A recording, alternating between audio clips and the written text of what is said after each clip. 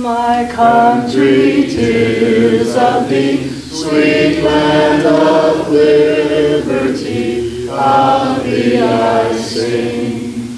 Land where my fathers died, land of thy pilgrims bright,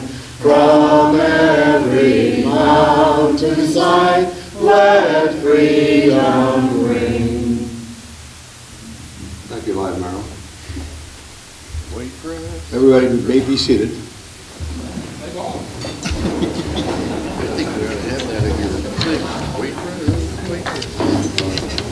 it. I'd first like to uh, welcome our dignitaries here tonight. Up here on the uh, front row, we have our guest speaker tonight, past President Mark Hill. Past District I'm past District Governor.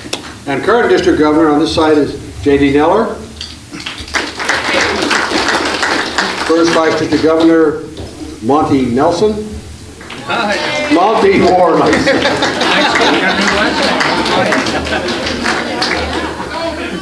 And third, and second Vice District Governor Bill Carter. In the audience, we also have some uh, distinguished guests. Past District Governor Doug Hill, would you please stand? Paul, I'm sorry. I'm doing good tonight. You're doing well. To start over? And past District Governor Crawford Spins, please.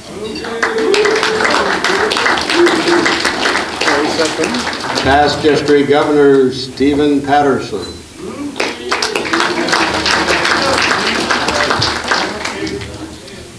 And past District Governor Terry Sutton is here as well. Terry?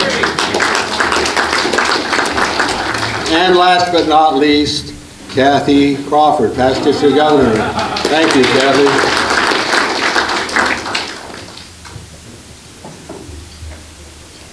This is the second zone meeting for this year, and I appreciate all the clubs coming. We have 100% club attendance, I believe, and uh, that's really good.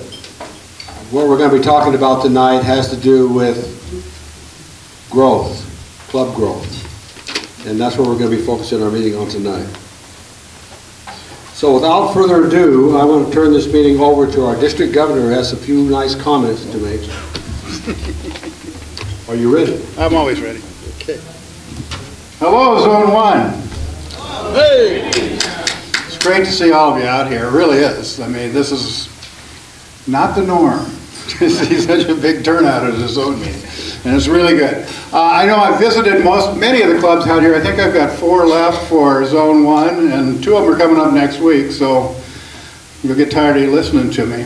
I just want to go over a few things that are happening, so everybody's on top of stuff. Give you a few dates and times of things that are coming up. The first one is, you all should know that the spring conference this year is May 13 and 14. And those of you whose clubs I've been to know that it's in Van, well, it's kind of in Vancouver. It's on Hayden Island at the Red Lion, Jantzen Beach on the water is the bulk of the conference. Now, there's, we had a little problem with this when we started the year. We were originally going to have this down at the Red Lion Inn of the Quay, which most of you know is down in Vancouver as well, until they called us in mid-September and said, we're closing on October 31, so we're not going to be here in May for your spring conference. So we did a little bit of scrambling, and the bulk of the conference is going to be at the Red Lion on Jantzen Beach. We were able to get that. I won't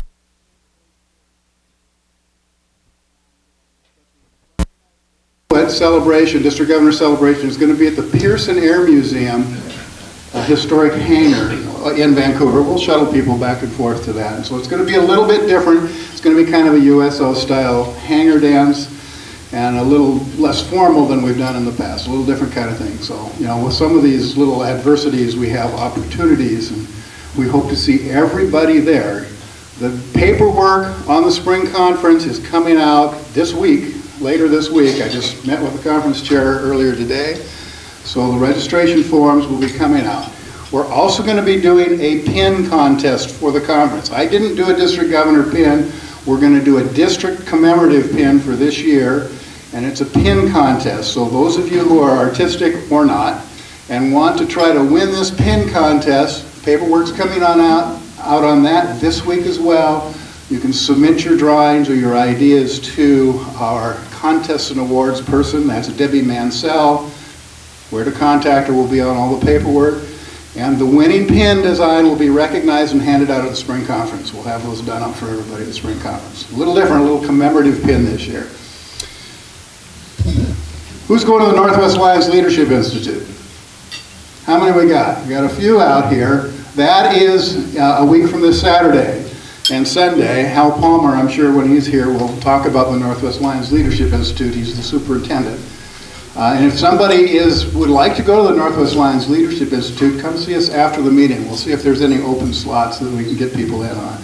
That's an annual event. It's a great, great training exercise.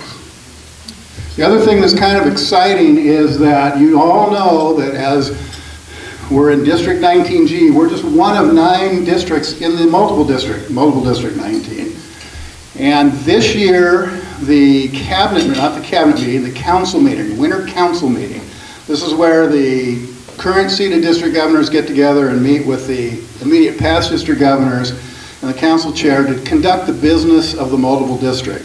That's going to be held down in Vancouver at the Heathman Lodge, and that is on February 19 and 20. And it has been 27 years since the multiple district has held an event down in southwest Washington. We worked on that really hard to get it down in this area, rather than having to go up to Canada or Bellingham or Spokane to do a multiple district meeting. So we're a little bit excited about that. Everybody is invited to these cabinet meetings. You don't get a vote, but you get to have, if you want to say something or you want to see what happens in the functioning of the multiple district, that's a perfect opportunity to do that. A week from this Saturday, on February 6th, is the third cabinet meeting for District 19G. That's us. That's going to be held in Cosmopolis, at the Cosmopolis Lions Hall. Who's been to the Cosmopolis Lions Hall? It's a tremendous facility. The Cosmopolis Lions are a great group of people. We've tried to do our cabinet meetings in different geographic areas of the district this year, even though frankly most of the cabinet is located down in southwest Washington. But the district covers more than just southwest Washington. It goes up to Grays Harbor as well. And so it's going to be up in District 3. Our first cabinet meeting was here in, in Zone 1 of, of 19G, and our second cabinet meeting was out in Zone 6, out in Skamania County. So our third one's going to be up in Cosmopolis. I have, we've sent out invitations to all club presidents and secretaries. All club members are invited to that. Club presidents and secretaries uh, are particularly invited. This is an opportunity to see how District 19G functions. This is the decision-making board for District 19G. You're all invited to attend. And the Kazi Lions are doing lunch. So we'll have lunch, we'll be able to eat. 10 o'clock, February 6th, Cosmopolis Lions. Very easy place to find. Lions Learning Forum. This is a little event that started a couple of years ago. I think this is the third Lions Learning Forum, or the fourth. I think it's the third Lions Learning Forum. That's March 5th, 2016 at La Center High School. This is an opportunity to get together with other Lions from the area and outside of District 19 to talk about common issues, common problems, little breakout sessions. It's been going very well. And the biggest deal here is it's free. Everybody's welcome to come on down. There is a website, lionslearningforum.org, where you can register, that gives them an idea of how much food to get, how many people they're going to need, and what rooms to assign. So get on that website and sign up for it, and enjoy your fellowship with the other Lions in your district and outside your district to learn a little bit about Lions.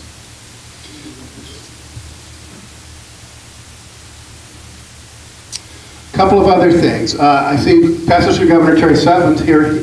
Terry Sutton is our representative of the Northwest Lions Foundation for Sight and Hearing, and he's been serving in that capacity for a third year, for a three-year term. He will not be renewing his term, so we are holding an election for our district representative to the Northwest Lions Foundation for Sight and Hearing. I have one candidate that's signed up so far and another candidate who's expressed interest. We'll hold that election in the spring conference. If you are interested in holding that position, I'm sure Terry will tell, talk to us a little bit more about that, I want to steal his thunder, um, then let me know and we can get you on the ballot for the spring conference. There's also been a change in the youth exchange program for multiple District 19. They are going to decentralize the functioning of the youth exchange program. Anybody here done youth exchange? Nobody in this room? Okay. You have? Okay. It is what, the, the task at hand for me is I need to appoint a representative for District 19G to serve as, on the governing board for the youth exchange program. That position is vacant, it's been vacant for a couple years, and frankly, it's vacant in, in five of the other districts. But that is now going forward, going to be the governing board for the youth exchange program. And they had kind of an executive director running the thing, and that's not going to happen anymore. There's been a big change in the youth exchange program. In any event, if you are interested, or you know somebody in your clubs or anywhere who's interested in being this district's representative to the youth exchange program for Mobile District 19, let me know and I'll get your name up there. I need to make that appointment within about 30 days, so let me know as soon as possible. Anything else? Let me just give you a few statistics that have been reported so far. I know you're going to report some more tonight. So far, in multiple district in District 19G, we have served 630,635 people this year. 35,030 service hours for the district. That's pretty good. It's up a little bit from last year. Our membership count.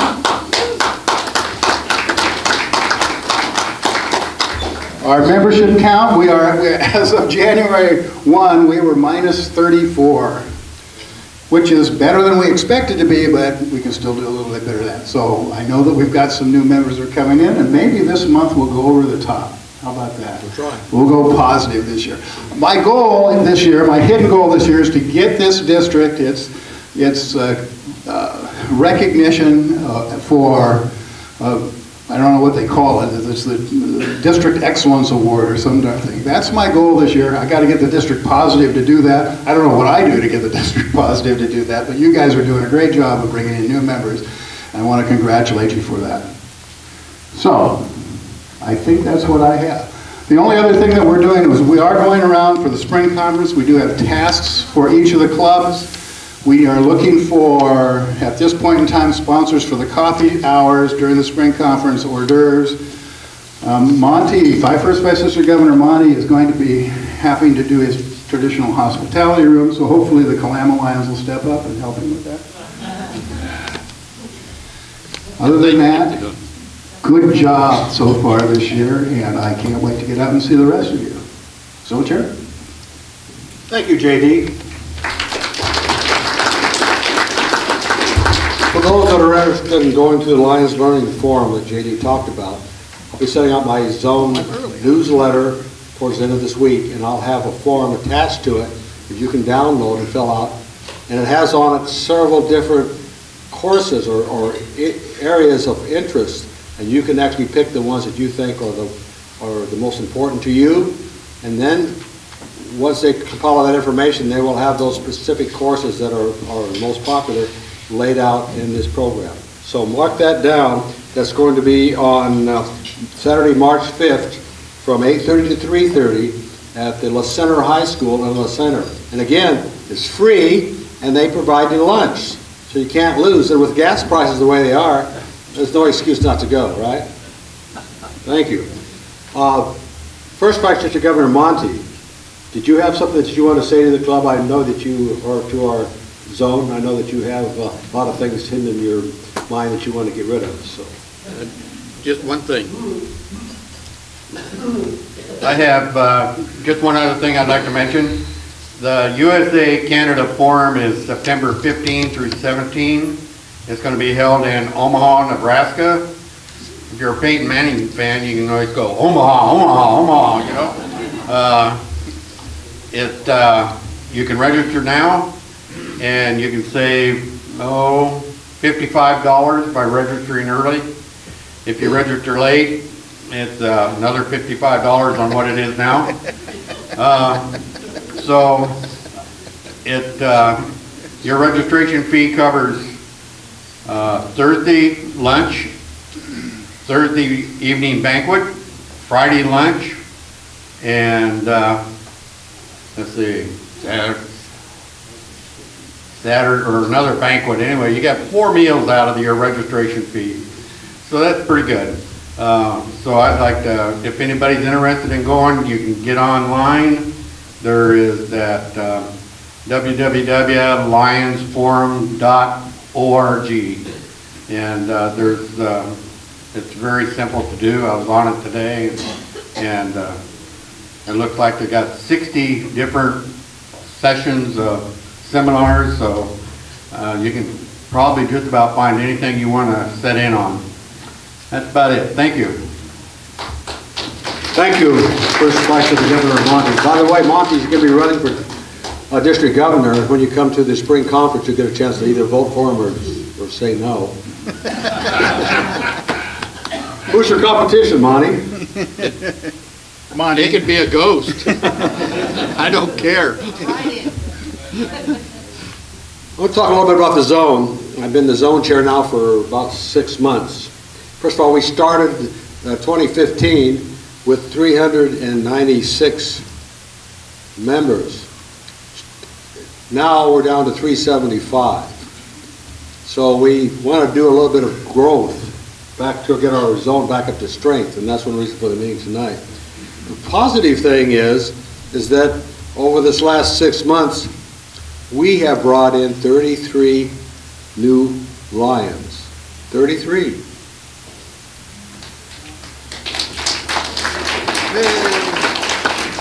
The bad side is that we lost 29.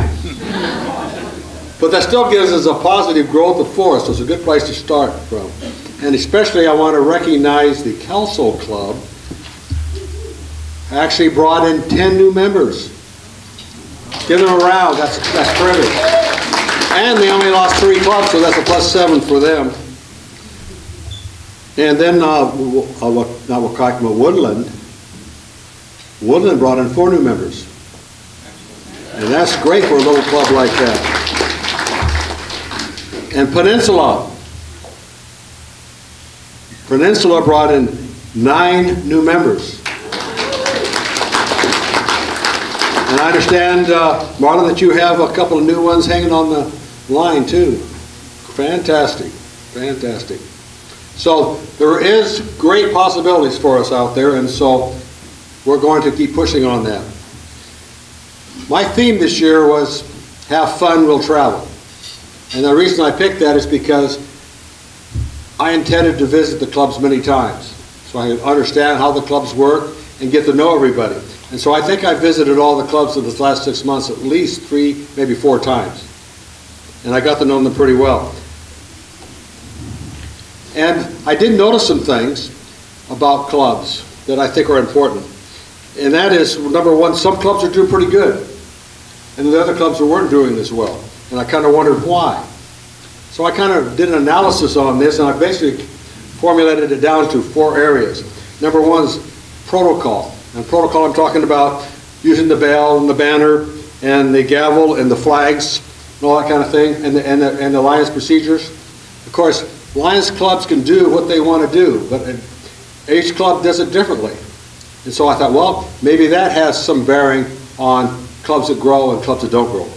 The second area was the number of meetings that a club holds. Some clubs hold a meeting once a week, like the Pioneer Club, and the other clubs that only hold a meeting once a month.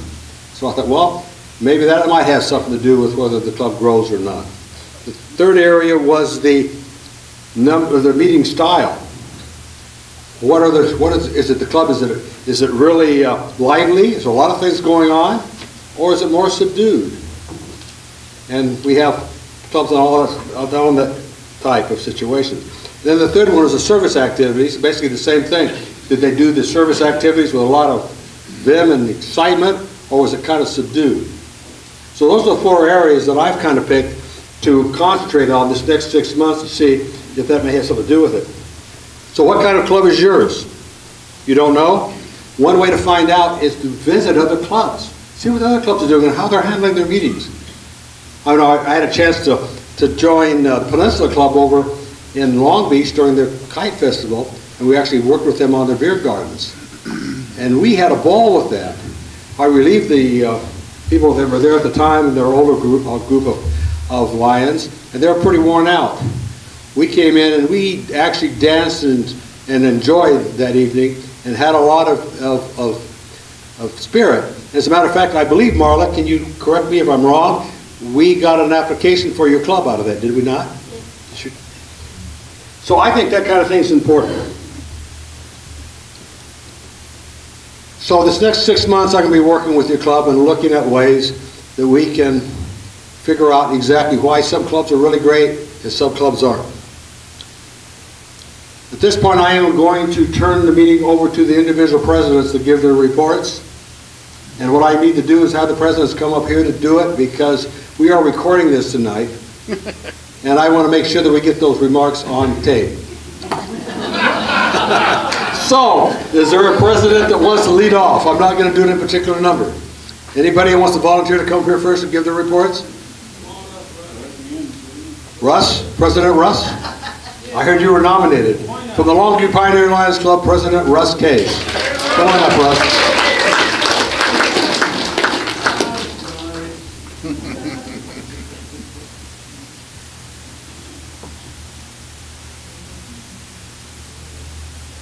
Thank you, sir. All yours. Thank you. I must say, it was a great dinner. Elks did a good job for us. They deserve a round of applause.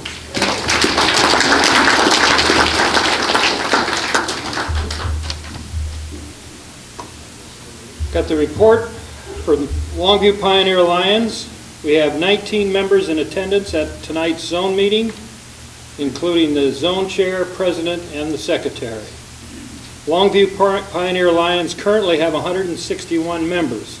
Two associates and all dues are current with LCI and MD-19. We have recently added three new members that are included. And Unfortunately, we lost two longstanding members since the last zone meeting. Although summer is a traditional, is traditionally our busiest time of the year, we have been very active since our last zone meeting in October. Key projects and activities which our last zone meeting include, since our last zone meeting include the Street of Screams, our Kids Safe Halloween event had 300 3,217 attendings. Decorating Lions Island for Christmas, assisting the city of Longview with the Civic Center lights and the downtowners with the Christmas decorations in downtown Longview the Walk and Knock Food Drive, which began, which began as an idea from our club, and bell ringing for the Salvation Army. We also participated in the Jumbo's Toy Run. Our newspaper recycling and Lions mint boxes continue each month, and we are in the process of new episodes of the Lions Den program on KLTV. Collection and eyeglasses and hearing aids is ongoing. We had a year-to-date total of 108 activities. Year-to-date number of Lions hours, 3,754. Year-to-date funds raised, 64,461. And persons served, 49,501.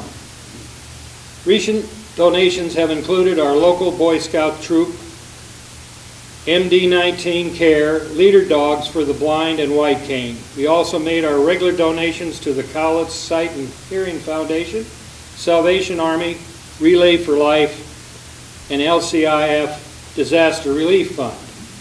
Year-to-date, total funds donated, 30418 Longview Pioneer Lions are dedicated to attending two visitations a month and have visited Cathlamet, Kelso, and other clubs so far.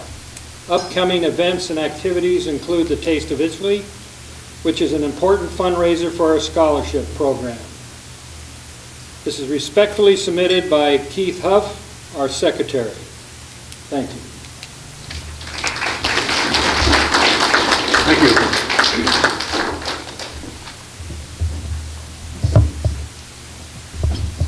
Another volunteer? Okay, Kelso is going to, come on up, Larry. President Larry from the Kelso Club.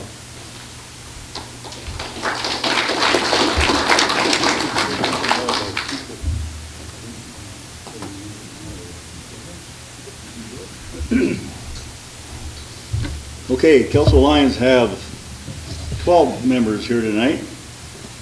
Since the last uh, zone meeting, we held our annual Christmas party for Lion families on December 7th. We had 70 to 75 family members there, including 25 children, grandchildren, great-grandchildren.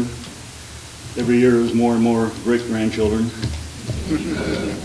Um, All received a present from Santa Claus. Incidentally, we have probably the best Santa Claus in, in this county. And so if anybody, make a mental note, if anybody's looking for a Santa Claus next year, he loves what he does, and, and uh, I'm sure he'd volunteer for you.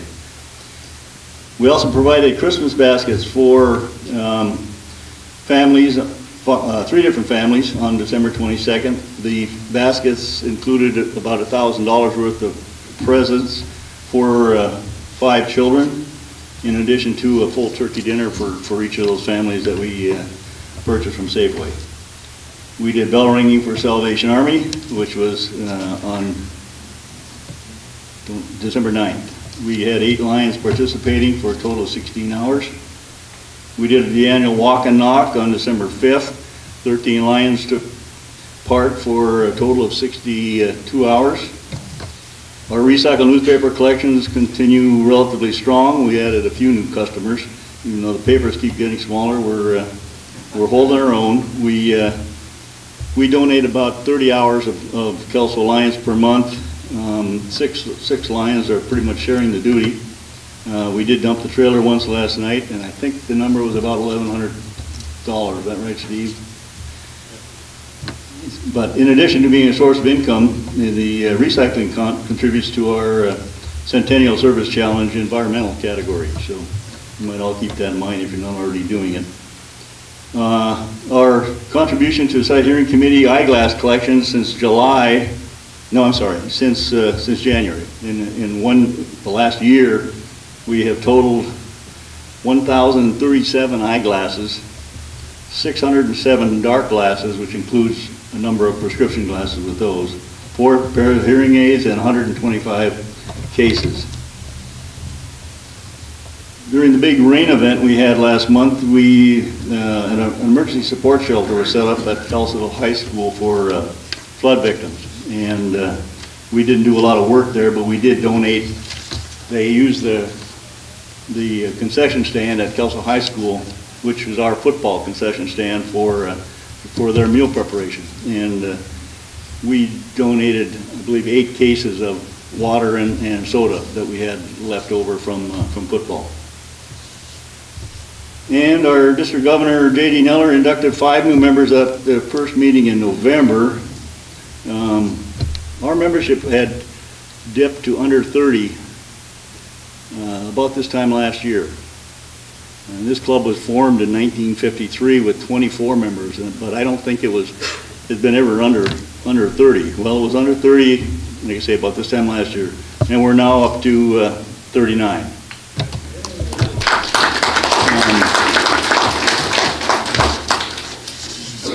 Zone Chairman Doug had asked me to, to make a, a remark or two on what Kelso's secret might be on, on uh, attracting new members. Uh, Let me tell you, there's no secret. Um, I said the same thing in my induction speech in June that I'm sure every other president has done. If we each added one new member, you know, we could double our membership. Simple math. And I tried to make it a point to talk membership at every meeting, talk membership at every board meeting. I don't know that that actually worked. What really worked was a couple of dedicated members. Um, Mary Jacobs, you stand up. She wouldn't, she's not prepared for this. Mary, Mary was, Mary brought in three new members. And her secret is, she's got a couple of secrets. She, we had a garage sale. She handed out Kelso Lion invitations to membership to, I don't know, how many, Mary, a hundred people? And bingo, she got a member for one of those. Um, She went to her neighbors. She brought in two new members uh, that are neighbors of hers. Not a, not a complicated formu- formula, I'm sure you, you all could do the same. Uh, Rick Roberson, where are you? Rick, would you stand up? Rick brought in five new members. Rick, he brought his members in either directly or indirectly by going to uh, people he had worked with. He's now retired, but he, he brought in some of the people that followed him into retirement and got them. Uh, He brought in, uh, one of the people he brought in brought his family in, so that, two more, to total up to his five. So it's, it's individual effort. It's no, it's no uh, great secret on what to do. Like You just got to put your, go after it. Each and every one of you have to make a commitment to ask around, neighbors, friends, family, whatever. Well, Larry, you know, you've got to come up with your secret, because I heard that you were offering no membership fees for the first year. Is that true? You know, that's true. Uh, But you know what? I don't think any of those members, uh, I don't think that got them into the club. Uh, They would have joined anyway. We- We'd already made the commitment, so, so we went ahead and did it, but uh, I'm not, I I don't think any of those members would, uh, would have hesitated to uh, pay the dues. But it's a thought. If you, you got people out there that, that's, a- that's a problem, it's certainly something you can think about. There's a lot of people that, you know, in our membership that live on social security and so forth. They have trouble paying for the meals or rental on the space and so forth. And we're doing what we can to make this an inviting, uh, inviting meeting place. One more comment. I, I saw where, or I heard Doug say that we had 33 new members in the zone, and we had 29 that left. So personally, and I started this really a couple meetings ago, our focus is not only on new members, but it's got to be on retention. You know, for every member you bring in and you lose one, you're not gaining much. And uh, so you got to remember, we're, we're a bigger club now. We've got 39 rather than 29. And that means that these people have, have joined to serve. That's what Lions are here for. If we bring them into the club and they come twice a month to a, to a hamburger feed, uh, they're not gonna be there very long. They're here to serve. And we've got to, we've got to, Kelso Lions have got to come up with projects to keep all these people busy, motivated, and feeling like they are, are serving. Otherwise, they're gonna go and they'll join the social club, they'll join the Elks. Not to say the Elks doesn't do things too, but, but, uh, um, that's, that's, that's something to really think of. Retention as well as new membership. I think it's, uh, extremely important. Thank you. How about Kalama coming up? And the Lion President Sarah is not here tonight. So we have a representative from the club. Secretary. Secretary. Gary, I'll turn this over to you, and uh, you can tell them all about uh, the neat things that Kalama's been doing this year. You've been doing some neat things. Good evening. Welcome from uh, soggy Kalama. Uh, Currently, we have 30 members. Uh, We had 34 in October, so we're, we've lost some. Two of them were, two members that passed away, but uh, again, we're down. Uh, We've got, uh, had 940 hours donated by members and volunteers uh, for fundraising and community service programs in this last quarter. We raised uh, $3,182 and donated about 450. Both our international and MD-19 dues are paid right now. Our fundraising efforts uh, consisted primarily of paper recycling, We had one bingo game uh, in November before we got flooded out. And uh, we sold a, a couple of buildings that we had built back uh, about 1985 that uh, we put up to, uh, for the fairgrounds uh, in Kalama, and they moved the fairgrounds, so uh, we sold those buildings. Uh, Community service support has been provided to the Kalama Food Bank. Uh, The walk and knock, uh, of course, was a big thing in December. Uh, The Lions screening van came uh, in November as well, and I think we had some 300 uh, students that we screened. We also had a uh, shop with the cop session. Uh, We collected, uh, like I say, newspaper, eyeglasses, and hearing aids to uh, recycle. We uh, delivered Christmas baskets to the Alone folks in Kalama in December. And also, we've got some folks that do some, uh, like Meals on Wheels. We had one uh, road cleanup session, assisted the VFW uh, flea market sale. And uh, we made some donations to the Kalama Community Building to help maintain it. Again, the shop with the cop, the sight and hearing van, and the Christmas baskets for the alone. Uh, The only visitation we had this uh, last quarter was at uh, Castle Rock. Right now, our future plans, we're uh, building some boxes to collect uh, eyeglasses that we're going to put in town, down probably by the library and our grocery store.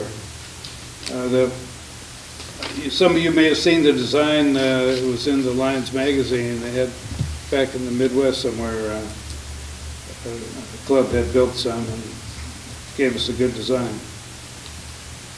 We're right now in the process of uh, surveying our community. We're trying to come up with a survey form, and a group of us has been meeting, and uh, last night at our dinner meeting, we passed out a a version of the survey so that uh, we could kind of evaluate it, and we're looking forward to getting that out to the community to identify what uh, service projects we might be able to uh, uh, focus on in this next year or more. We also are going to do a Red Wind Casino bus party. By the way, anybody interested in in joining us for that, uh, it's on February 14th, $10 a ticket. Going to leave at 9 AM in the morning and uh, come back around 5. We haven't tried that before, but it sounds like it might be fun. And then we've got our Easter egg hunt coming up in March, and the Father's Day breakfast. Uh, Any of you that are thinking you might join us for a dinner meeting, uh, a visitation, uh, wanted to let you know that we had to move out of our community building when the floods came. uh, The city hall and the police department moved uh, out of town because it got flooded and then took over our community building. So uh, we're meeting now in the Methodist Church across the street. So we're still there if you come up. Look forward to having you uh, if you care to join us here in the next month. So anyway, that's all I've got for this evening. Thank you. Thank you, Andre. Appreciate. President Pat, would you like to come up for the Kelso, or Wonka Kelso early birds?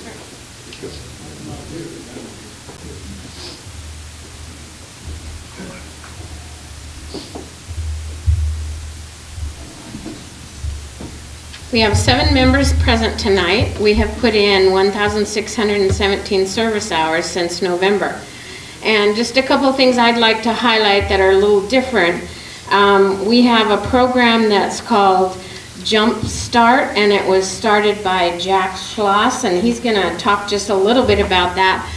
Um, so that if there's other clubs interested in getting involved, we found a real need in our community, and he'll explain that to you. And the other thing I'd like to, the other two things I'd like to highlight are, we participated in the Lions um, Worldwide Week of Service, which was um, in January, I think like the second week in January.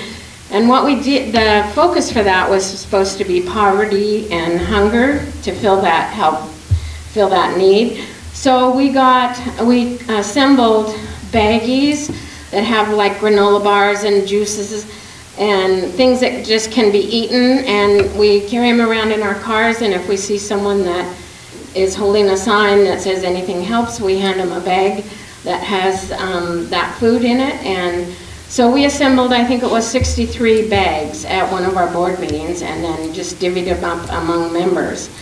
And um, the other thing is a future thing that's coming up in July, and I had told you about this at our last zone meeting. We have secured the Lions Health Screening Unit, and it will be available when the Cowlitz County Fair happens, which is July 27th through the 30th. And we plan on visiting all the clubs in our zone to see if you would like to help participate in uh, manning that sight and hearing van, and we'll have a schedule so you can sign up. And we'd like, rather than just having a club take a day and just having one club do it for that day, we'd like to really mix people up so that we get to know each other from other clubs and um, make this be a true zone project and not just um, our club project.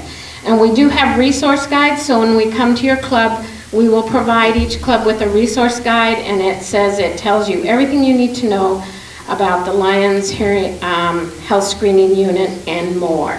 So we look forward to coming and visiting with you, and I'm going to let Jack just talk a little bit about the Jump Start program. So Jack, do you want to?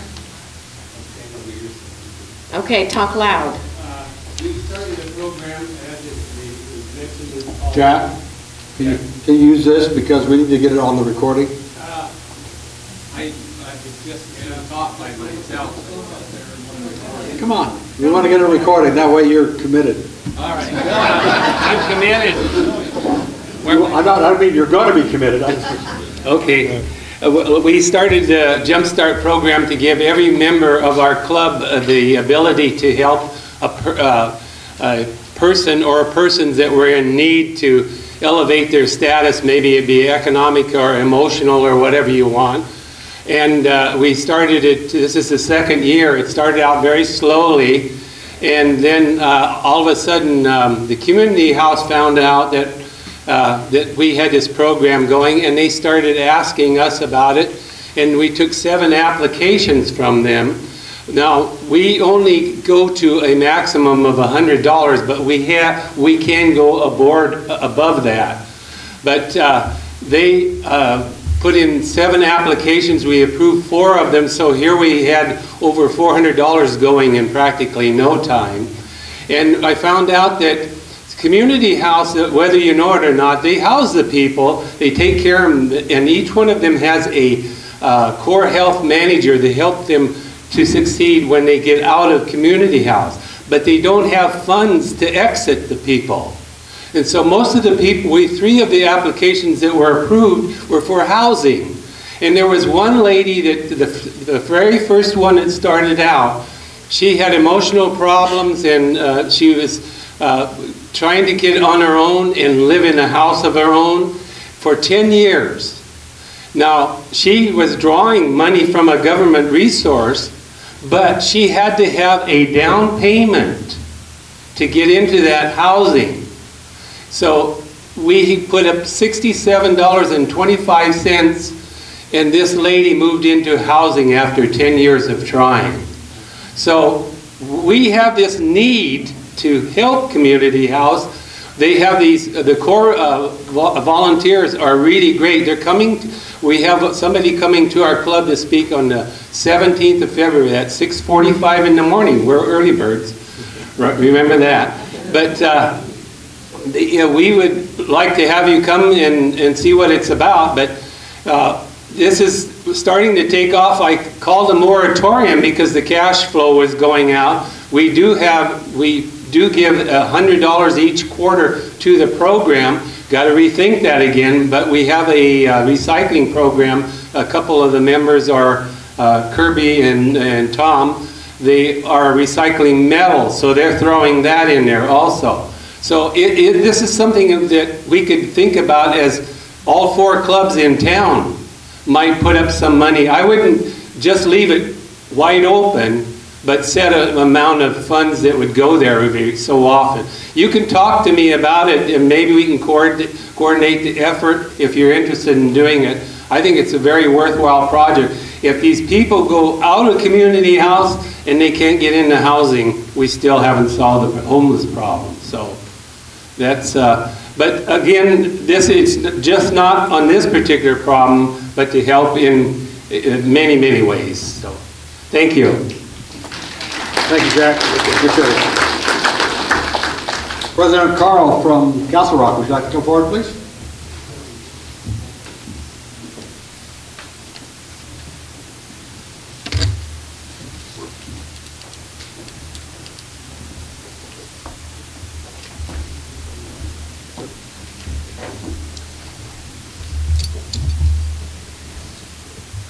I'd like to uh, start this evening uh, with talking about our membership.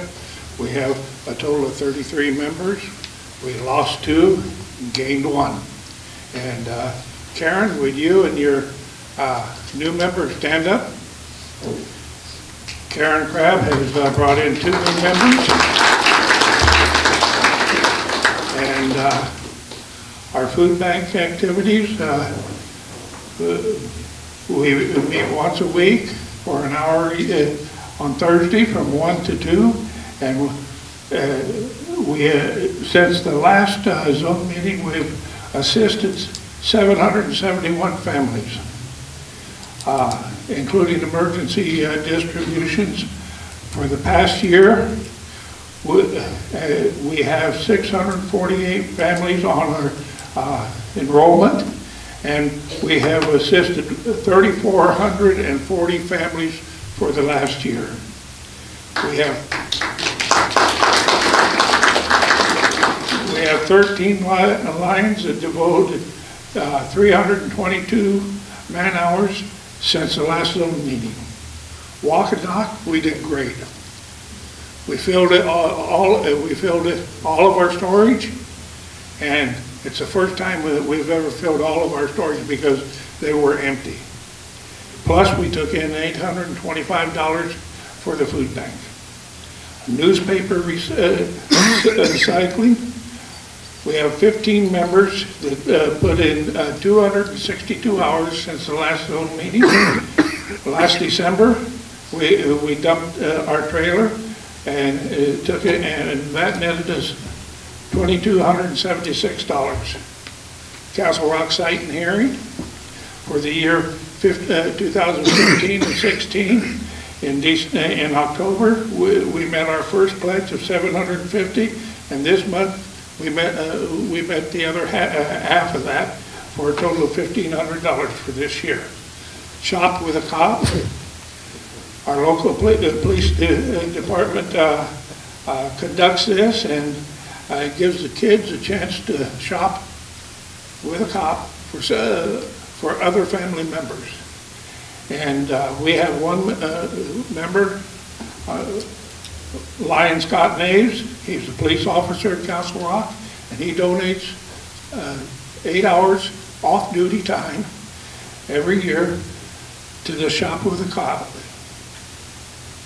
New Year's fireworks sales, we netted $778.94. We had a real good year this year. Some years we haven't done uh, so well. Upcoming events, we have Krispy Kremes on February 12th. So everybody get ready for your, uh, for Valentine's Day.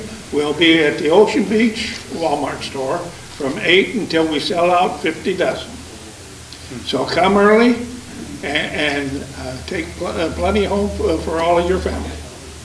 And also starting leap year day, the 29th of February, we will be doing a, a rest stop uh, at the northbound rest area. Thank you, President Carl. From the Woodland Club, Vice President Tim standing in tonight for President uh, Mel, who's not feeling well.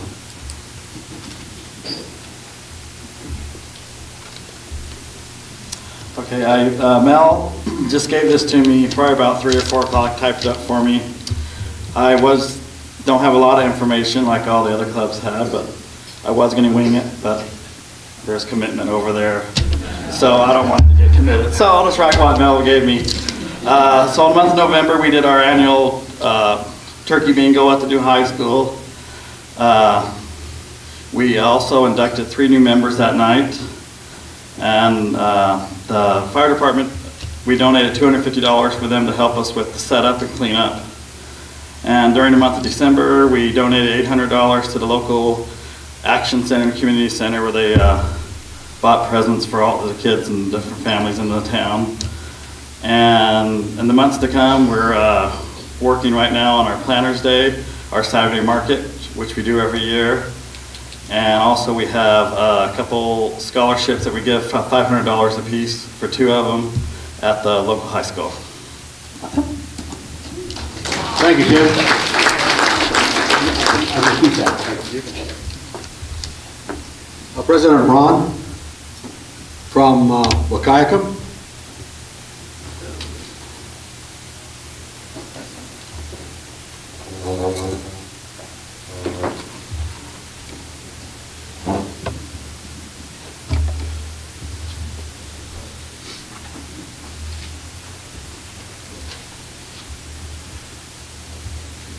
And I called you Ron, and you're really Chuck, aren't you? I apologize. for that. That's why I have that theme there, yeah. Yeah, I I noticed you looked at it a couple times. Well, I, I don't want to forget. Is it, is it Ron Nelson? We have uh, 15, or 12 members in our club, and we have two of them here tonight, and I didn't do the math, but that's a pretty high percentage probably. Our dues have been paid to Lions Club International and to Multiple District 19. Uh, We have a number of activities that we've been participating in. Uh, Walk and Knock was on the 14th of November. I know that's earlier than a lot of you folks do it, but we go when we get a request from the food bank. And we had uh, hours in that particular drive. 49 of them were, 49 hours for members, but we had 104 hours for volunteers. We get them Boy Scouts out there just working like the devil, and that helps. And we served about, uh, well, the entire county. We have a birthday calendar like a lot of you do. Uh, all the money's not in yet, but it's gonna end up around fifteen hundred and forty some odd dollars. And there, once again, we've had four members of our club that have worked almost nonstop. They're computer whizzes and we don't give them a chance to rest. Uh, but it's, that's been a successful program for, I'm not sure how many years. Uh, they were doing that when I, um, joined thirty-five years ago. Um, we have holiday food baskets. We donated $200 worth of food to make gift baskets for the, for the needy, and that serviced five families. The sight and hearing van uh, was, was visited us on the 20th of January of this year. I'm not sure if I have it in or not there, because my younger brother is the one that drives that van, so if, um, we had 10, 10.75 member hour, membership hours and about the same thing on volunteer a little bit. And we served, serviced nine, 296 children in grades K through 8 in Cathlamet. Our newspaper recycling is an ongoing thing. It sounds like a lot of you have that going. Um, we haven't had any money because we don't have a big input like you have up here, so it doesn't come in all that often. So when the trailer gets full, we get it rolled up here. Uh, that service is primarily the county. We've got little drop boxes, Cathlamet, Skamokawa, and Puget Island, and, and uh, they kind of keep us busy. There are some other expenses that we've had since the last zone meeting. We have a student of the month every month for the high school, and uh, they come out and they, they get a $25 check, and it's not in the mail. They get the check as they go there, and we get an idea of what these kids are going to do in the next, year- next few years of their academic life. Uh, We had to pay for a newspaper ad for various things because we uh, sell berries like a lot of you folks do. Uh, Sight and hearing van, uh, that was a $150 that that cost us. Washington State Police, we had a fireworks permit. And like I said a while ago, we've still got money coming in from the calendar order. The total number of service hours since last zone report was 118.75 members and 114.5 volunteers. I just figured get those volunteers into the club, it sure might help a little bit, but I'm not gonna look a gift horse in the mouth. It's nice to have them out there giving us a hand. Total money spent, uh, raised since the last zone report was $1,799, and the total money spent since the last zone report was $1,872.45. So we're almost breaking, our- breaking even.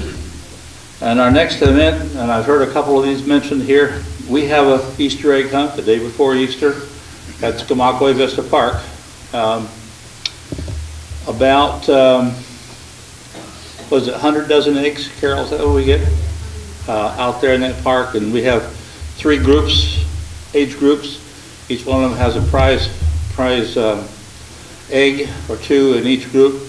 And uh, rain or shine, we have an Easter egg hunt. Now, if you're from Skamokawa, you kind of realize this, that it's quite a statement to make, because it has rained a few times, but it doesn't. Okay. And um, we have not made any visitations during our, the last quarter. So that's all. Thank you, President Sharp.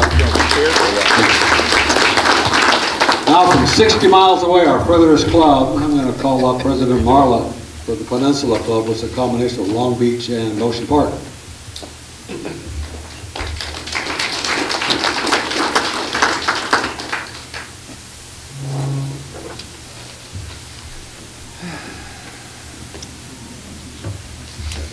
Currently, we have 33 members whose dues, and all the dues are paid. Um, Since October, actually at the end of September, we did have the sight and hearing van down at the uh, Peninsula, and we screened children as well as senior citizens. Donations, $200 to the two local food banks, $100 to the fire hall for the annual children's Halloween party. We purchased four pairs of glasses, and we purchased two, or we have uh, Christmas trees down there, we're called angels, and we purchased um, gifts for two of those children.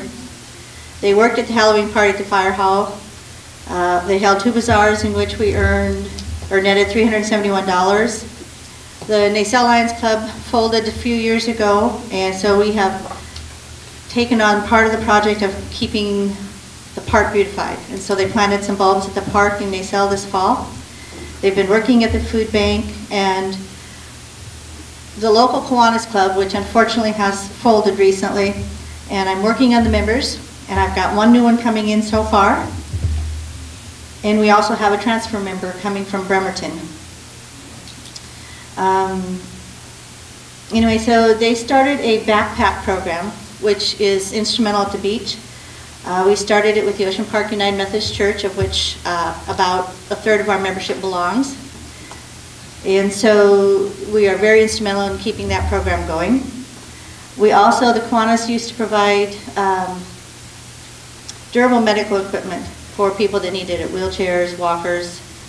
And so we are taking over that project along with the help of the senior center down there.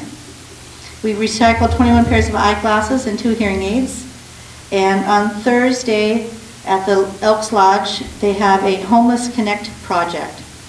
They bring in, oh, there will be um, barbers there, beauticians there, uh, one of the local eye doctors will be there, just all kinds of services for the homeless.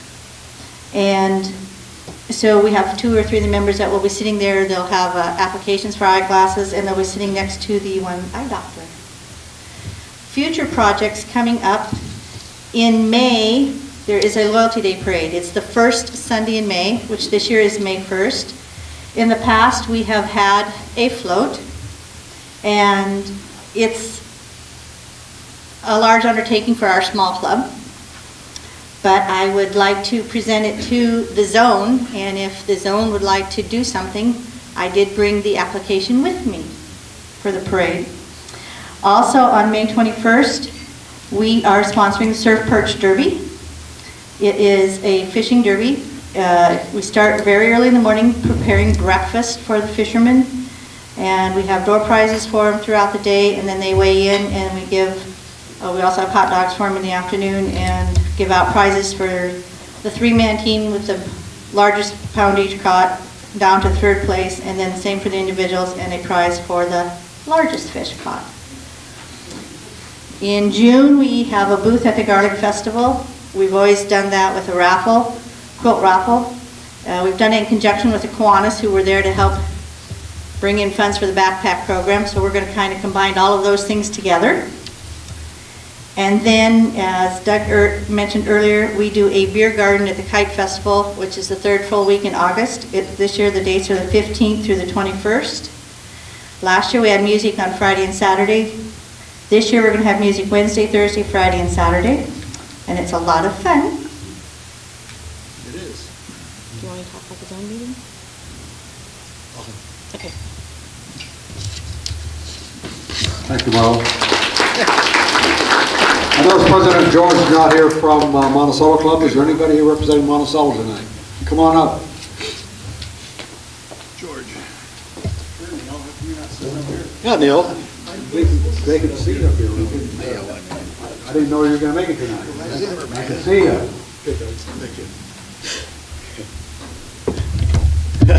President had to set some priorities tonight. His uh, wife's birthday was this evening, and he didn't think it would be fit that he take off and come to a zone meeting.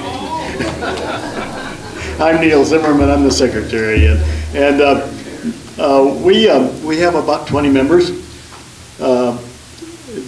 That's uh, a bit of a problem. Last quarter, we did well. We brought people in. We, we had a net income or increase, and this time we have a decrease because we lost a couple of people too. Um, Community service-wise, our, basically our, our, uh, we collect newspapers. We've got 65 boxes scattered around Longview. Uh, the sad part is the paper's getting smaller and it takes, it takes just as long to drive around to those boxes, but they, son of a gun, don't, don't get quite so full anymore. But we're struggling along. Um, We collected the used eyeglasses. We participated in the leadership of the uh, Cowlitz County Sight and Hearing Committee, right? I get that, Kirby? Yeah. And uh, so that's, a- that's a, we used to take on a lot of that ourselves as a club, and now we've got a, almost a zone-wide activity going on now. It's really made quite a difference. Uh, We participated in the Wackanock program. We uh, managed to, uh, this quarter, to distribute $2,700 to various charities, and uh, we paid LCIF, uh, Community House on Broadway, Salvation Army, and Butch. We've got our dues all paid up too, to, to MD-19 and to, to uh, LCI. Uh, Three Lions participated in the district convention in Pasco. Uh, For fun and fellowship, we have a Happy Bucks program, and by gosh, the, the ex-chairman or the ex-president of our group won $350 after about a year and a half of doggone Jack of Diamonds program. Uh, We had a great Christmas party and a good white elephant exchange, so we're having some fun too. Um, Problems, again, our membership, and uh, that's, uh, I guess everybody's got that problem. A couple of just oddball things. Uh, Sheila Thomas and Daryl Thomas are, at least Daryl is a Kalama lion, and we had to meet at our, our trailer, paper trailer yesterday. I actually enlisted Daryl to come and help unload papers while we were, while Sheila and I had some business to do. So thanks, Kalama, you got some, you got some time that you can give to Daryl for that. Um, I guess that's about it, really. Uh, Thanks, Doug. Thank you, Neil. Neighbor? Yeah, I do do this. Okay, we have a couple of new lions here tonight, I believe, that are here for induction. Can you please stand? Okay, there's one. Well, that's okay. We have some other new Lions that have been in the club that started since July. You were here. Will you please stand?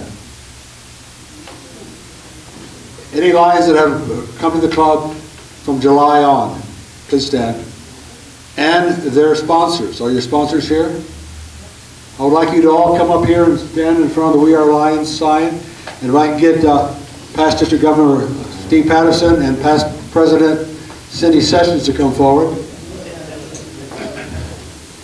Stand up, Steve. I've got to get my ladder.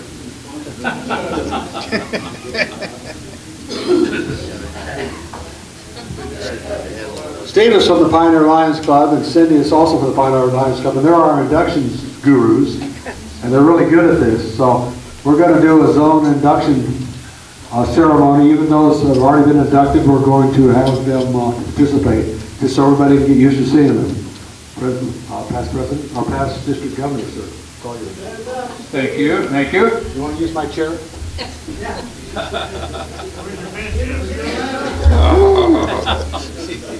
I'm sorry that we can't be a little bit closer to you all, but according to the recording system, we need to be, Cindy and I need to be up here. Uh, We are here to induct you as new members. You're uh, joining the largest service organization in the world. We are at 1.4 million members, 16,000, 46,000 clubs, in 208 countries. We are a worldwide service organization.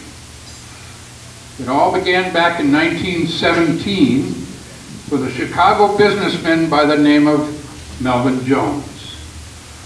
He started by getting together some of his fellow business people and they formed a service organization to give back to the community. And he has one of my favorite quotes, which goes something like this. You'll never be anybody until you do something for somebody else. And that's what Lions is all about. In 1925, at their convention, their keynote speaker was Helen Keller. And she challenged the Lions at that time to become Knights for the Blind and to serve those in need that were sight impaired and hearing impaired, as she was. And that's when they took up that challenge. So the logo or the motto for Lions is We Serve. If you look up here on the banner, you'll see where we now represent, are represented by the large letter L encircled by a gold ring. And that represents strength and unity. On one side of the letter L is a lion's head facing backwards, and a lion's head on the other side facing forward. Forward for new adventures and services, and backwards for past accomplishments. I now will light a candle for all of you as you will bask in that glow of service and commit yourselves to helping others. Cindy? Thank you. Since you expressed a desire to be a member of your local Lions Club, I now ask you to respond to my words with a simple I do. Do you accept membership in your Lions Club? I do. Yes. Knowing that you're encouraged to participate in all the functions of the club? Yes. To the best of your ability, will you abide by the Lions Code of Ethics, attend meetings, contribute to the programs of your club, district, and Lions Club International? This is my favorite part. By the power vested in me, by Lions Club International, I now declare you officially a member of your Lions Club. Your- Are any of your sponsors here? Okay, I'm sorry, I didn't realize. There you are, you were hidden. Um, This is kind of different because we don't usually do it like this, but I'm sure your sponsor has presented you with your Lions lapel pin. I will now ask the sponsor questions. Will you fulfill the following obligations? Be a mentor to your new lion. Make your new member feel welcome. Introduce them to other club members. Assist them in, in becoming an outstanding lion. I would like to personally congratulate you for becoming this, this, for accepting this service challenge for your community. That's it for this, because we do a lot of stuff that our club does. So we want to make, we want all the Lions here to welcome our new members. Yeah.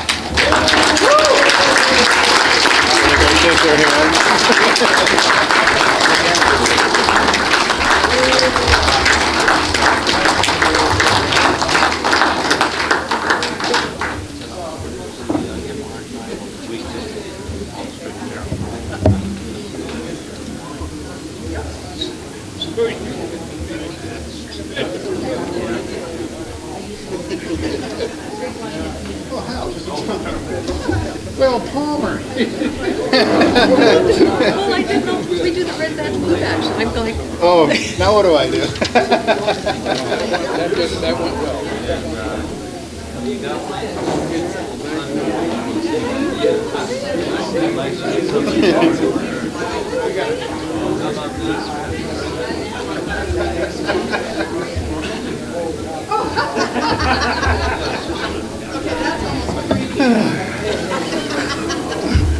Now, the next zone meeting, we're going to be doing this again, and we hope that every club brings new members to be inducted. We want to make this a big deal to help the zone and help your clubs. Now I'm going to turn this meeting over to our, our guest speaker. Gordon? Oh, no, you got to stay for the rest of the meeting. I'm going to turn this meeting over to our guest speaker, past District Governor Mark Kelch. He's going to talk to you about a little uh, ideas he has for growth.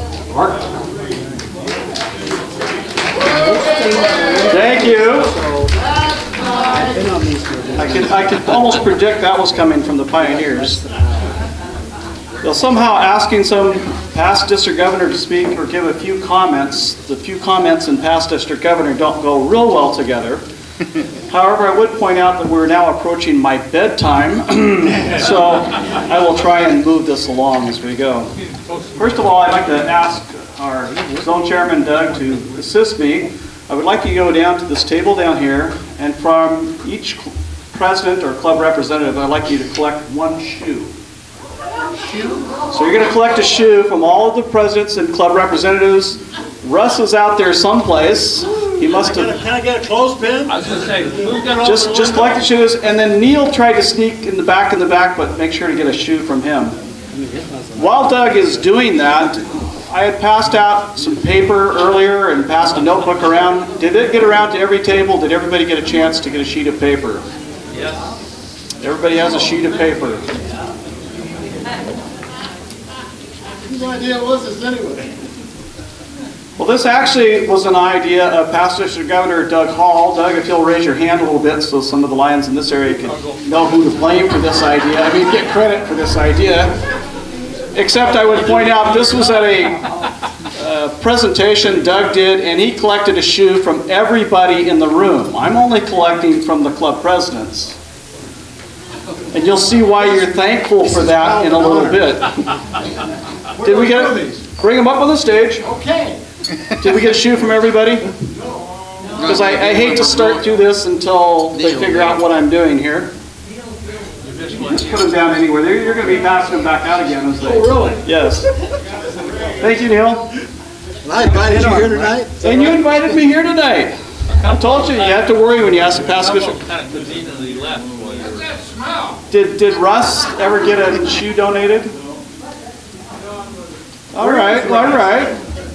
Well, first of all, for the club presidents and club representatives, Neil's out there someplace instead of getting back up here, but raise your hand. Has your club held a membership event, an open house or membership drive, or something similar this year? Any of you? Are you figuring 2016? We're talking about this Lions year, since, since July. So no, nobody gets a shoe back on that one. Does your club have a written membership plan with specific goals? Nope. Hey, somebody gets a shoe back. What's that? Oh, you already have your shoe. You planned ahead. Does your club have a membership team? Not a membership director or chair. Do you have a membership committee or team? You don't need to keep raising, but that's good though. You keep raising your hand. You got your shoe back. Maybe somebody else's shoe, okay? No, no, wait a minute, wait a minute. Does your club have a membership chair or director, and can you name that person, him or her? Okay, you got several other shoes you can hand back out. You can, you can go down and all those people that volunteered. You want the same shoe you had, or? I don't care if you give them the same shoe, it doesn't matter to me, I'm just up here doing it. Make it right, make it right. Have you personally sponsored two or more Lions this year? Not this year. There's Somebody there, I think you already had your shoe back claimed though, didn't you, from a previous, yes? How about one? Have you done at least one this year? All right. All right, Good job. For those who may not have collected a shoe this year, this year, have you asked someone to join Lions this year? All right, he gets his back. Do we have anybody that still doesn't have a shoe back yet? Is that Neil? Well, Russ doesn't got his back. Do we have any more shoes? I gave them all out. Gave them all out. Boy. Had to Mike- clear the air. Oh, there's Russ. Hey, go collect some shoes. Go collect a shoe. You don't get these shoes. Well, you get one of them. Why don't you take, uh, Take Hal's? take Hal? Okay, Hal can be the stand-in, Yeah, we- so to I need a speak. hand-in shoe. Thank you, Hal. Russ has learned delegation well. I've taken a lot of arrows for you, Russ. Now, my stats are slightly different than uh, Zone Chairman Doug's because I was looking at the Lions Club Multiple District 19 stats from July 1st, so ours are a little bit different. But in our zone, Multiple District 19 was showing through the end of December, we had 24 new Lions, we lost three to death, and had 24 members that were dropped. In the district, we had 64 new, 16 deaths, and 91 drops. That's nearly 50% more than the new members we added. We have a challenge Lions, not just gaining new members, but also retaining Lions. Second chance questions, and this is where Russ can jump in to see if Hal gets a shoe back. Does your club conduct, or at least try to conduct, an exit interview with every member that you drop? No. I saw Chuck's hand went up. Nope, sort of. Well, you try. You can't always get a hold of people, I know that. Has your club worked on a CEP or club retreat within the past two years? Oh darn, you're gonna have to give Hal a shoe back because Russ, Russ Russ that one. When Doug, past district governor Doug Hall did this, at the end of it, there was a lot of shoes from the thing that didn't get sent back, and we all had to make a donation to a charity of his choice. I was kind of hoping we might get a charitable donation to Doug. Ch- Okay, let's do the rest of the room now. the rest of the room, no, I told him I was just doing the past the presidents. Consider the service and donations that we heard about tonight, what we give to our communities. Does anyone here believe that as Lions, we've already done everything that we could possibly do in our communities? No. Does anyone believe we should be doing less in our communities? No. On switching to a more positive vein, does anyone wish we could provide more service and more donations in our communities? Yes. I think that's pretty much all of us, right? As Helen Keller said, alone we can do so little, together we can do so much. Lions and other service organizations, I know this is being broadcast tonight, are essential to healthy communities. We have to provide the service. More members equals more service and more donations back to our communities. So how do we gain? First of all, we have to keep membership forefront in our minds every day, all the time, 365. Greg Firth in our club is a pretty good one at that. At least every other week, if not every week, he's usually reminding us that he has membership applications available.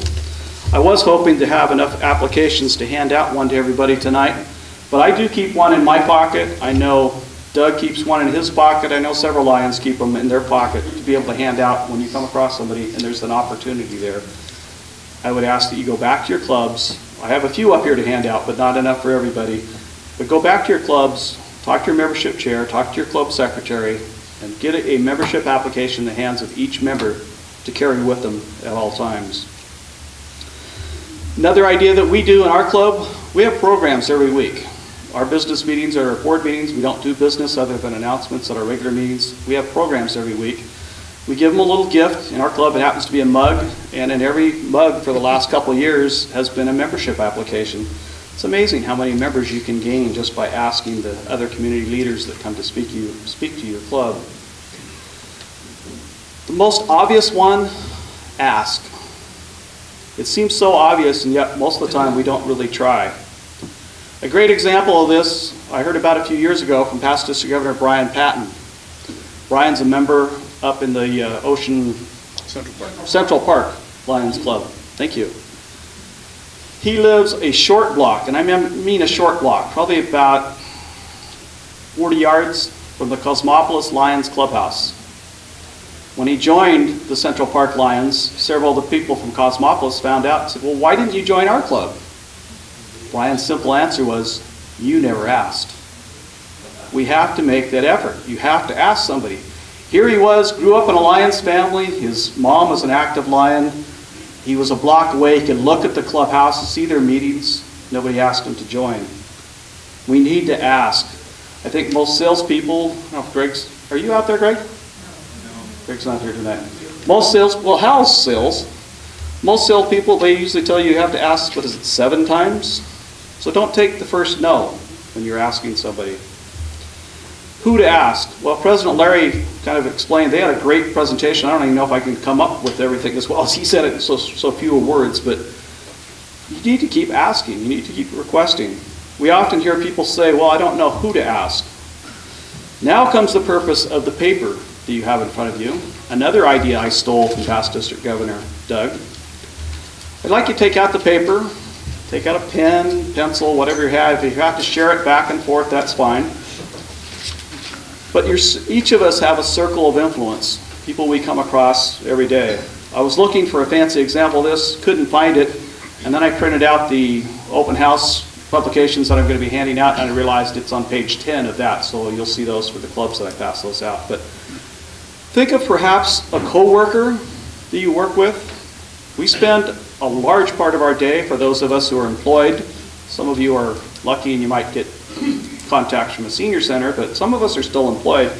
Spend a lot of time of our day with these coworkers. I brought one of my coworkers in in the last year and a half. We have coffee groups we're part of, friends at a gym. Think of these connections. Do you have a name you can put down for any of these or all of these? Perhaps church. Many of us are involved in local church organizations. Jot down a name of a friend from church.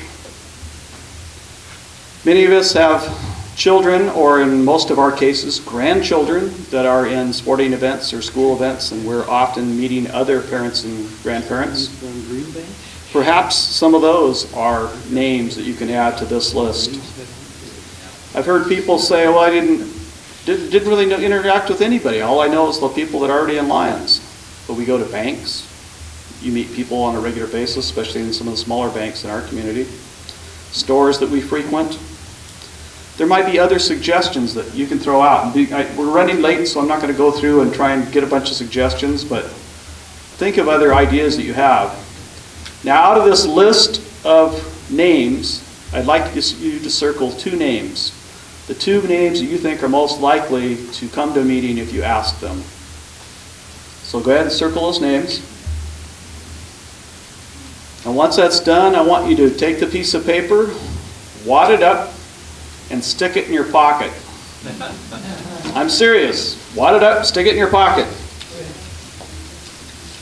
Now keep it there every day until you bring somebody to a meeting.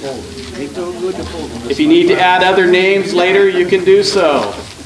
When Doug pulled this for me, I think I carried around a piece of paper in my pocket for about six months until I finally got somebody to come to a meeting. But it's a great way to make you continuously think about membership. Membership is something, as I said, it's 365. We have to think about it every day. No cheating. I know some of you ladies may not have pants pockets. Keep it in your pocketbook in your purse or someplace you're going to see it every day. We need to offer the opportunity of Lion's service by asking others. Now, as a bit of revenge, I would suggest you all go back and pull this on your home clubs and get everybody else in the club to do this as well. How else can you increase membership?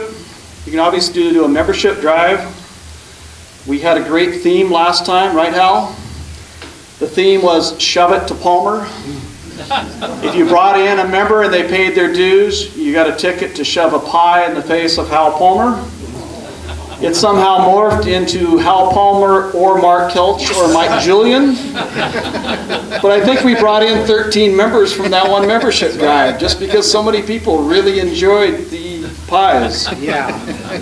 I'm not sure I appreciate the, uh, what, what do you call that when you pass off a ticket of some that belongs to somebody else? Um, whatever that may be, my wife picked up a couple of tickets and I, I had chocolate in my sinuses for three weeks after that. Whatever works for your cub. Pick a theme, try and keep it fun. Think about a membership drive.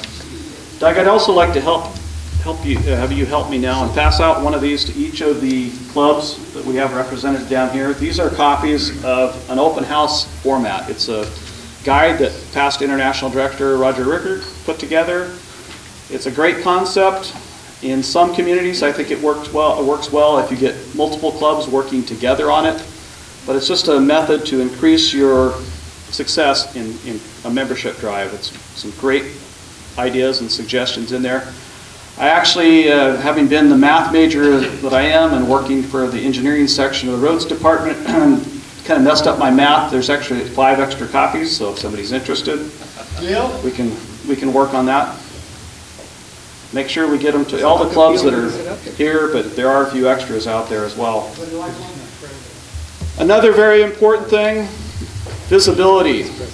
I know our club made it, in our club, it made it easier to gain members once we went to very visible apparel. Yellow jackets and the regular dark navy shirts. Be visible in your community. It's wearing Lions apparel when you're active on a project. It's wearing Lions apparel when you, whenever you have an opportunity. Wear your Lions apparel when you're supporting a member that has passed away. There's somebody hands pointing back there. There you go. Lion's pin. It's amazing how many times I will try and wear a lion's pin where, wherever I work on my shirt collar. It's amazing how many times I've had people come across at least once a year. What's that? And they ask you about it. it Gives you the door open to explain a little bit about lions. As I talked about, community events you need to be visible. Banners and signs. I know we have some sandwich boards that have been going out to clubs this year as well to help your visibility. Think about an elevator speech because you may be asked about your apparel, you may be asked about your pin, you may just have the opportunity at a convention sometime and somebody that's not a lion might ask you about lions. Just in a sheer short time frame, keep it personal, keep it simple, but what would you say in the time it takes an elevator to go up? In about 25, 30 seconds, what would you say about lions, what it means to you, and why it's important for somebody to join? Have that prepared because people will ask you if you're visible about that. What's in it for them? A lot of people want to know, well, what can I gain by being in Lions? But if you think about it, opportunities abound. It's not just doing good for the community, but the way you feel good for doing the service. I know the grammar's a little off there, but you get the point. Studies have shown that you're better off physically and mentally by giving back to others. You have the opportunity to develop leadership skills, interpersonal skills, and to build new fellowship. This is extremely important in both gaining and retaining members. You also have the opportunity to network. No, that's not why we're Lions, but it's okay to network within our clubs. Why wouldn't you want to support those that support your community? I always try and make it a point of supporting those that support our community. Columbia Ford's a good example. They're not all Lions, but they're encouraged to get involved. Lions, Kiwanis, Rotary, Altrusa, some other organization, Community House, Salvation Army. There are a number of valuable organizations. Support the people that are supporting our community. Make it count. You can learn public speaking, either from Happy Bucks or giving simple little committee reports, serving as a club officer, or gaining training at some Lions conference or convention. Fun. Did I mention fun? I think that's one of the most essential things from any Lions Club. Whatever the nature of the club, is fun is so, so terribly important. Melvin Jones said, It is not given to a great many men in ordinary conduct of their lives to exercise leadership within a group, yet every member of a Lions Club has this opportunity. Group action, the ability to live with others, is the basis of our civilization. By giving the business and professional men of a community the chance to lead their fellows in activities that redound to the good of the entire community, Lions is promoting the cause of human advancement. Okay, let's talk a little bit about how we retain members. I'd like everybody to do a mental exercise for me. I want you to close your eyes. Think about a plastic bucket. There's a bunch of holes about two-thirds, three-quarters of the way up that are about the size of marbles. If you pour a bunch of marbles in the bucket, what's going to happen? The marbles are going to start falling out the holes. If you add more marbles, is it going to help? No, they're just going to keep falling out the holes. Get bigger marbles. Bigger marbles. I'm not going there, Doug. You can open your eyes now. The important idea is we need to close the holes before we keep adding more marbles, more members. It's the same sort of concept. We lose far too many, many members over the years. Uh, Past District Governor Doug, I keep picking on you tonight. I didn't even know you were going to be here you were in my speech, but he did an analysis when they used the multiple district retention share, and if I remember the stats correctly, over about a 10-year time frame, we lost the equivalent of the entire membership of the multiple district. Washington, Idaho, British Columbia. That's how many members we dropped over a 10-year period. Is that? Yep, that's what I was thinking. Our very own past district governor Sam Price observed, all too often we lose members, we rarely lose a lion. We have to get people to become a lion and have a heart of service to keep them involved. Toastmasters is wonderful for teaching people to speak, but the other thing that I learned from Toastmasters is the value of evaluation. You need to constantly improve. You need to look at where you've been and how you're going. We as Lions need to know where you are starting from and where you are going. Wonderful way to do this is a survey. There are surveys available in the CEP program. There's surveys available in the light version, and I can't think of the name of it, but Club Quality Initiative. Club Quality Initiative. Lions comes up with wonderful little tools. Sometimes they're tongue twisters, but they are wonderful tools. You can also do a, a custom survey of your own for a club retreat. retreat. Uh, I would advise the KISS principle. Keep it simple, stupid. Model it after the, the surveys that are already done by Lions. Don't go into something in depth or you won't get the response that you need. The important part out of all this is you need to develop a plan of action. As they say, plan your work and work your plan. So you need to write it down and check it regularly. Use SMART goals and share those goals to increase accountability. Does anybody here not know what a SMART goal is? So many of us have heard the term for so long. Okay. Specific, measurable, attainable, or as somebody pointed out very wisely in Lions, could be assignable, so it's a specific assignment, uh, realistic, and time bound. So have a set period of time it's going to be done, make sure there's a specific individual that's responsible for it, and, and follow the rest of that. Wonderful plan, write those down, keep track, and follow along. We have to continually improve. If we don't keep improving, we're losing ground. If you stay the same, you're going to lose out you're going to die off as a club. Just a few quick retention suggestions. First of all, fellowship. There's been multiple surveys by Lions Club International, and the number one reason by far in every survey for the reason people stay in a club is fellowship. It is so, so important. They talk about the golden rule. I would suggest we treat others better than you would expect them to treat us. We have a sunshine committee, which is basically thinking after people that are under the weather or had a loss in their family, sending them cards or flowers. But it's much more than the cards and flowers. It helps build that sense of family. I saw the value of this so much, I took the concept to work, and it's going over quite well at work. You may take it to your other organizations, but you have to build that sense of family. Funerals can be difficult. We never know what to say, but the important thing is our presence is there. One of your members dies or one of loses a close family member, try to make an effort to be there. Just let them know that you care, it's part of your family. Club socials, sometimes our club's a little dysfunctional in that regard, but many clubs have wonderful, I know you're laughing, but you know what I'm talking about. Many clubs have wonderful club socials. We do too. We just don't always get all of our club members to see it the same way to, to pull it off sometimes. The, the downside of having a large club.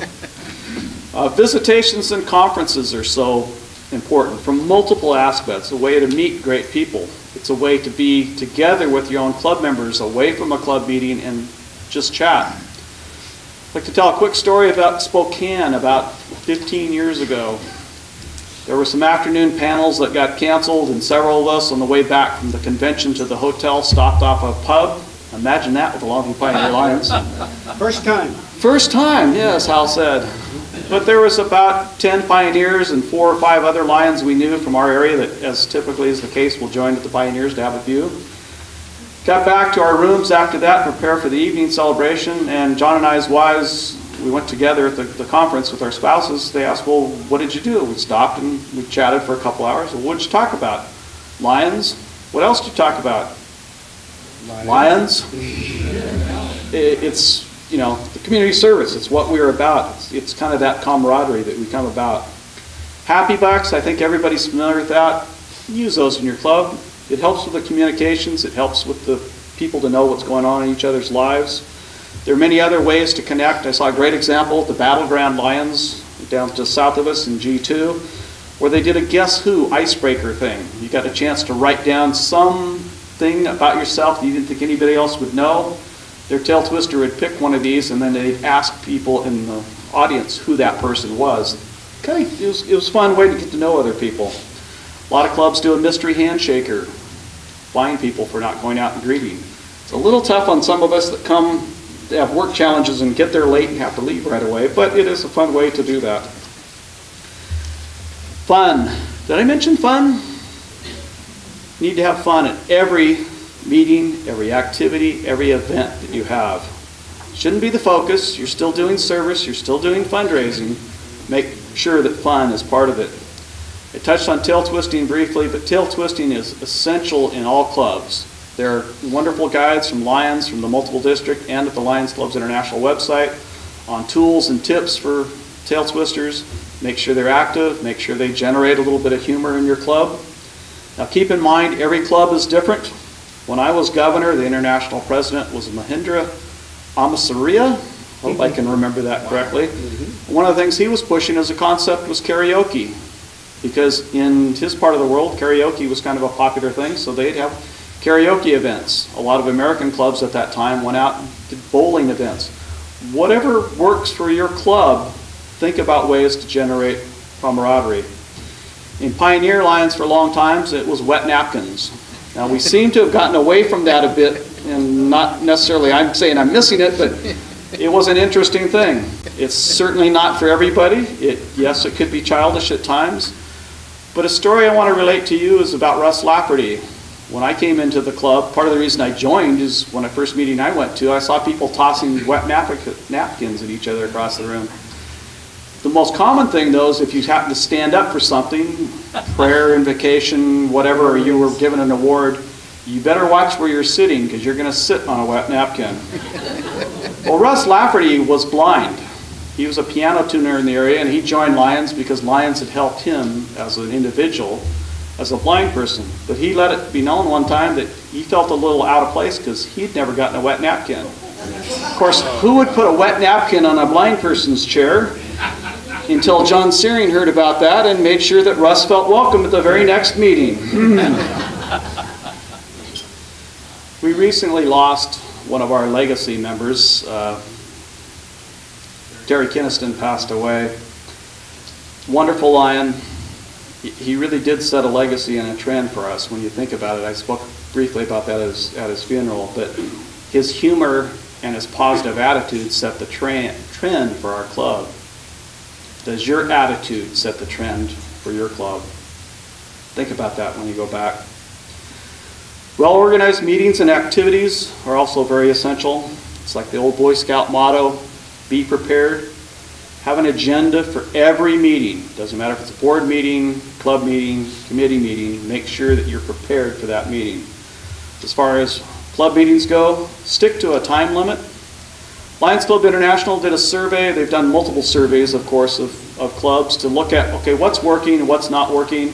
One of the things they saw were morning clubs and noon clubs were pretty much holding their own. The clubs that were having the biggest struggle were the evening clubs. But they looked into it a little bit farther, and it wasn't because clubs were meeting in the evening. That wasn't the issue at all. The problem was evening clubs tended to run on without a stopping point.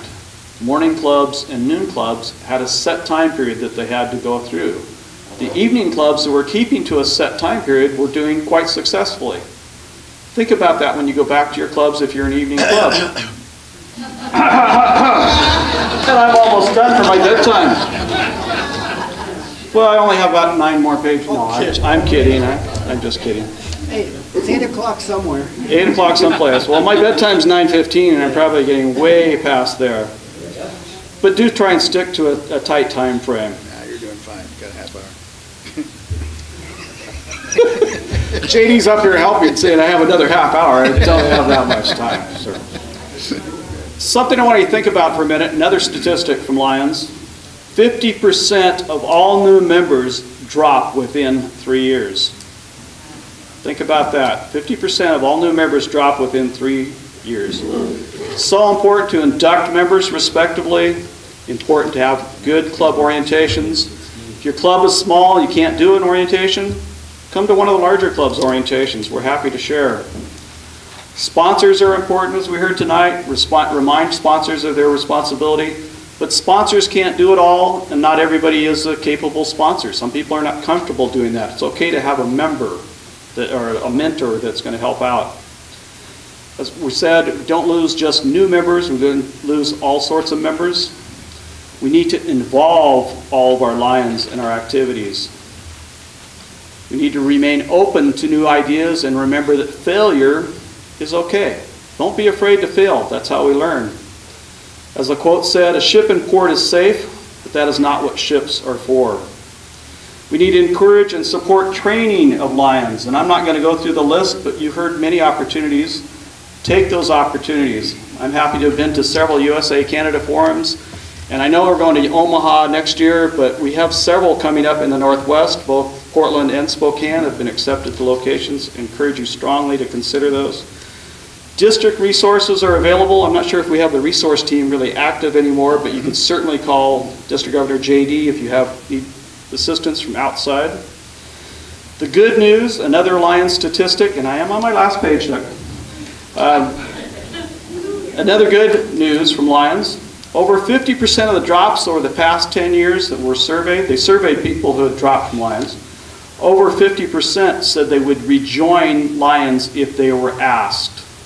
You have a huge pool of people you're already aware of that you could be asking to join, rejoin your club. Attitude is so important. My saying is gratitude is the best attitude. But whatever you do, stay positive, stay focused. Again, I don't believe in problems, only challenges and opportunities. We have plenty of both opportunities and challenges in Lions. But if we want to continue supporting our communities with service and donations, then we must step up to help gain and retain members. If not you, then who? If not now, when? There you go.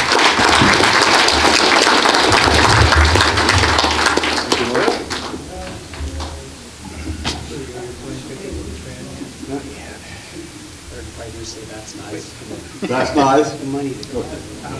All right, uh, very quickly now, any announcements from the uh, presidents from the floor? Any special announcements? None. Anything from the floor? Okay, uh, President Larry from the Kelso Club, you have some raffles. You want to take care of that? Who didn't get a raffle ticket? That's who I want to draw. I want somebody that didn't buy a raffle ticket drawing. My number's in here. That's part of our zone. Did you not buy a ticket?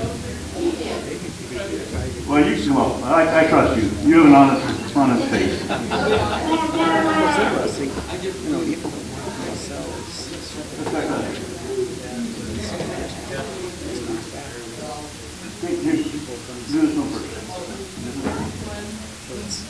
This is, uh, tea and a cup and beads and a couple of books.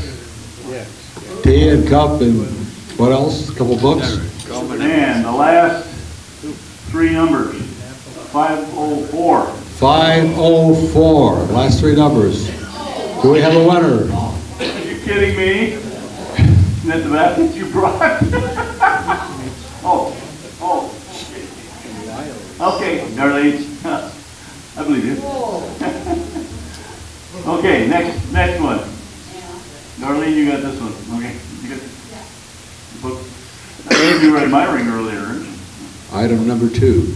Okay, second one is five, six, eight. 568. Hey, there's some fishy here. Something fishy.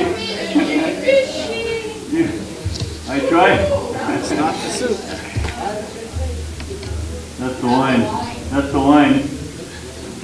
Okay, number three. This is the can. Number three. Candy. This is the uh, sinful one. The candy. Candy, number three. Six oh four. 604. Same table?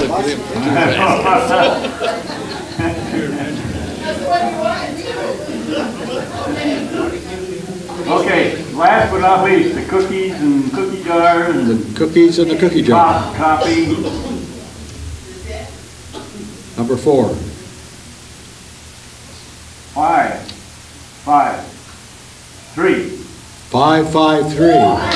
There. You're gonna get them all? Three out of four? Jesus Christ.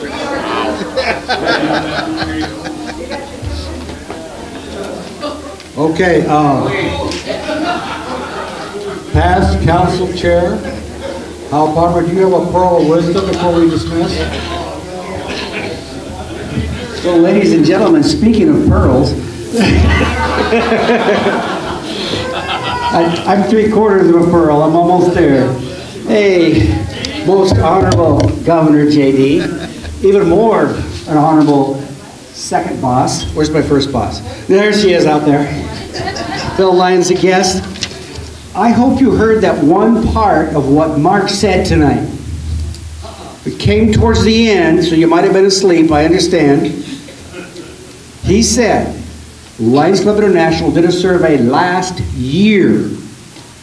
They did their own exit interviews across the nation. One out of every two members that you have dropped will come back if you ask. If you ask. And I want to make sure that's following in because is Paul Gerhardt here, to- or not Paul Gerhardt, Paul Spears here tonight? Okay, Paul Spears, a member who dropped a few years ago, came back. Want to know why he came back? One of our members ran into him and said, what are you doing? Well, nothing, I'm fully retired. You want to come back to Lions? He goes, oh yeah. How hard is that? Second, one of the reasons I was late tonight, um, we had a conference call for the Northwest Lions Leadership Institute that starts next week. We have a couple of openings if you want to go. And you can still get the $150 grant. Um, the total fee is $375. 150 of the grant can, will come from the foundation. You can go on the nwlli.org, download the packet, get the packet to me, and it'll be rushed through. Um, we're finalizing everything um, towards the end of this week for the number of students and so forth. It will be a- an experience that you will remember. How many of you are graduates already? Look at that. Look right at the graduates. JD, you never went? Well, you know, attorneys, you can teach them something, but we never figured out what it was, right? Went to the Advanced Lions Leadership. Oh, that's right, he went to Advanced Lions Leadership Institute. So, you can still get in. And I was thinking about what Mark was saying when he said, be a lion. Because you can be a lion, you can help a lion become a lion. You can actually help somebody get there through encouragement, through the stuff that you know. Think of someone in your club to help. And finally, what do you think of a second vice district governor that has a Green Bay Packers pin? Oh, I had to write notes with that. With that, zone chairman, congratulations on an awesome meeting. Thank you. Thank you, Mr. Pat, Council Chair. And maybe a possibility of going on to uh, international director, is that Yeah, correct? that's right. I'm endorsed. All I gotta do is find a way to get his Japan back. Okay, we're almost finished. Uh, One announcement to make, and that has to do with the next zone meeting. A few. The next zone meeting, number three, is, is tentatively scheduled for Saturday, I believe this, Saturday, the 23rd of April at 10 a.m. I'll tell you why in a second. Not 10 a.m.? What, what time? In the afternoon, okay. Marla from the Peninsula Alliance has offered to host the next zone meeting. It's 60 miles away, but she came all the way over here to tell us about it. She's been over here at our meetings. What we're looking at doing, I know it's a little bit of a drive, but we're looking at put, maybe combining two things together, the zone meeting and the new officer training. If we set up on a Saturday on the 23rd, would that be something that would be of interest to you? No. No? Who said no? I don't, I don't need, you need an answer now. I want you to think about this because I realize it's a little bit of a drive. Price of gasoline's way down and it's at the coast. There's some great deals on a hotel room if you want to stay the night and enjoy the, the, the, the beach. Anyway, so think about this. I'll get back to you, but this is tentatively what we're going to do. We want to combine the officer, new officer training and the zone meeting at the same time. Kill two birds with one stone. So it might be worth the drive. Seriously think about that and I will contact each president and find out how how the club feels about that, okay? Any questions? Anything for the good of the order? Hearing nothing, I will then officially end the meeting.